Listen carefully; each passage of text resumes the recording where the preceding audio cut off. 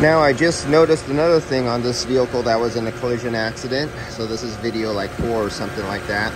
I started to put in my hand over here to feel air and I said, wait a minute, I feel, I feel air and I could see it and I feel a pulsation. I feel more like pulsations of air over here. You can see my uh, glove down there flapping around.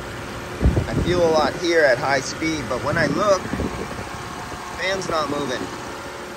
At first I wasn't sure and I, I put this over there to feel and it's actually sucking in the air through the opening right here.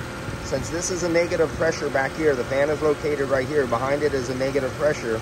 This negative pressure is connected to this fan over here, over right through here. It's not sealed off.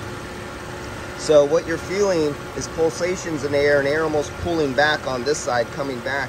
And if this crowd was on and you were sticking your fingertips on there, you might get fooled thinking that fan was running and it because it's so noisy, you wouldn't be able to tell unless you had a good visualization because just sticking your hand there, you're going, oh yeah, there's some air there.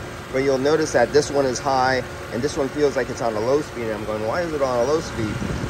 And uh, yeah, so uh, I'll have them look into that and say, hey dude, you got one fan not working. So I'll keep going from here and we're down, we're up to uh, 400. I'm doing a, this is a partially empty container and I'm just draining it down. That's why I didn't get it all done in one, one fill, like within 30 seconds. Uh, this is my filled container over here that I'm about to swap over and complete it to 600 grams. Uh, let's see where we at right now. Now that we have from 300 and what we had 350 on my last video, you see the superheat is around 23 right now. I think it was 35 before. And you'll see the subcooling has went up. It's no longer around zero or one. And so I'll continue filling this until it gets to 600 grams and we'll come back. But I just wanted to notate, we're gonna see if this uh, secondary fan ever comes on.